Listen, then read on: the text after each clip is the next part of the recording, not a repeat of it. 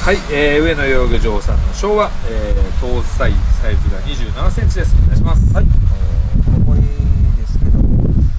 まあまずやっぱりこう頭からの模様がですねちょっと丸点気味に入って墨も入ってますし。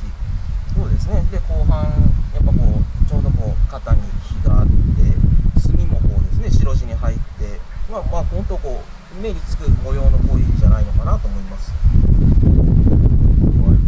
派手なものしてますねね、であの元風呂なんかもですね綺麗な感じに入ってるんでですねあのこれから墨が出てくれば本当にこうなんですかねこの辺に白地ちょっと多く見えますけどそれをこう十分カバーしてこう昭和の良さが出てくる声じゃないかなと思います。それではこの方も行きましょう。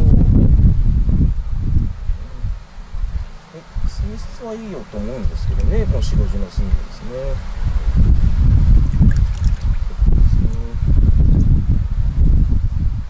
っぱりですねこうやって頭なんかに墨がこうパッと入ってるとなんかこうやっぱこう急に昭和なんか派手な感じがしますね。そうですね。しっかりシ部分もしっかり出てて。うん。フォトグラもしっかり綺麗にまた止まってますしね。そうですね。うちは結構あのフォトグロが流れない恋が多いんでですね。これでしっかり決まってくれれば本当綺麗になるんじゃないかなと思いますでしょうか、お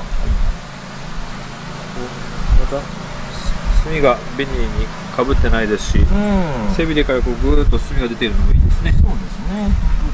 上品な恋だと思うんですけど。はいいかがでしょうか、えーこちら上野養魚場さんの昭和搭載サイズ2 7センチです。ぜひよろしくお願いいたしはい、ます、よろしくお願いします